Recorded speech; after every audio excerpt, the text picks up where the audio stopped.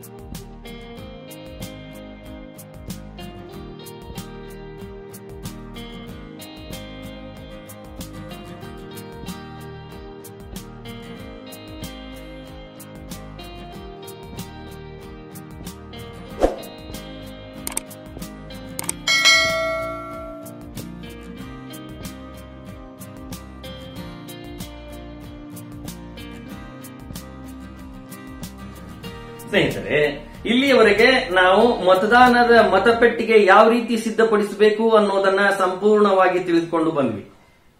ಈಗ, ಅತ್ಯಂತ ಪ್ರಮುಖವಾಗಿ ಮತದಾನದ ಪ್ರಕ್ರಿಯೆ ಮುಗಿದ ಮೇಲೆ ಸಾಯಂಕಾಲ ಐದು ಗಂಟೆಗೆ ಎಲ್ಲ ಮತದಾರರು, ಅಂದರೆ ಆ ಒಂದು ಪ್ರಿಮೈಸಿಸ್ನಲ್ಲಿ ಹಾಜರಿರುವ ಎಲ್ಲ ಮತದಾರರು ಮತದಾನ ಮುಗಿದ ನಂತರ ಮತದಾನವನ್ನ ನಾವು ಕ್ಲೋಸ್ ಮಾಡಬೇಕಾಗಿರುವಂತದ್ದು ಅಥವಾ ಆ ಮತದಾನ ಪ್ರಕ್ರಿಯೆಯನ್ನ ನಾವು ಮುಕ್ತಾಯಗೊಳಿಸುವಂತ ಸಂದರ್ಭದಲ್ಲಿ ಮುಕ್ತಾಯಗೊಳಿಸುವ ಈ ಮತಪೆಟ್ಟಿಗೆಯನ್ನ ಯಾವ ರೀತಿ ಸೀಲ್ ಮಾಡಬೇಕು ಅನ್ನೋದನ್ನ ಈ ಒಂದು ವಿಡಿಯೋದಲ್ಲಿ ನಾವು ನೋಡ್ಕೊಂಡ್ ಬರೋಣ. ಓಕೆ ಬನ್ನಿ.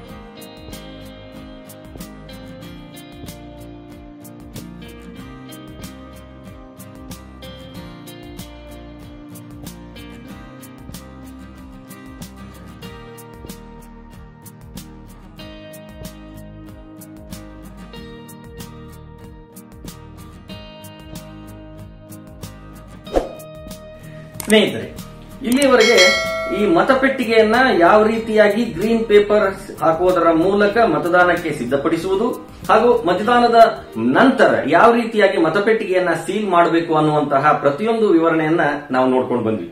ಹಾಗಾಗಿ ನೀವು ಈ ಸಾರಿ ಈ ನೆರವೇರಿಸುತ್ತಿರುವಂತಹ ಚುನಾವಣೆಯಲ್ಲಿ ಯಾವುದೇ ಸಮಸ್ಯೆ ಬರದೆ ಸಂಪೂರ್ಣವಾಗಿ ಯಶಸ್ವಿಯಾಗಿ ನೀವು ಚುನಾವಣೆ ಮಾಡ್ತೀರಿ ಅನ್ನುವಂತಹ ಭರವಸೆಯೊಂದಿಗೆ ಈ ವಿಡಿಯೋ ನಿಮಗೆ ಲೈಕ್ ಆದಲ್ಲಿ ದಯವಿಟ್ಟು ಲೈಕ್ ಬಟನ್ ಅನ್ನು ಒತ್ತಿ ಹಾಗೂ ಈ ಚಾನೆಲ್ ಅನ್ನ ಸಬ್ಸ್ಕ್ರೈಬ್ ಮಾಡಿ. ಇನ್ನು ಮುಂದೆ ನಾವು ಇನ್ನೂ ಅನೇಕ ಈ ರೀತಿಯ ಮತದಾನ ಚುನಾವಣೆಗೆ ಸಂಬಂಧಪಟ್ಟಂತಹದ್ದಾಗಿರ್ಬೋದು ಹಾಗೂ ಸಾಮಾನ್ಯ ಜ್ಞಾನಕ್ಕೆ ಸಂಬಂಧಪಟ್ಟಂತಹದ್ದಾಗಿರ್ಬೋದು ನಾವು ಅನೇಕ ವಿಡಿಯೋಗಳನ್ನ ಮಾಡ್ತಾ ಇದ್ದೀವಿ. ಹಾಗಾಗಿ ದಯವಿಟ್ಟು ಈ ಚಾನೆಲ್ ಅನ್ನ ಸಬ್ಸ್ಕ್ರೈಬ್ ಮಾಡಿಕೊಳ್ಳಿ. ನಮಸ್ಕಾರಗಳು.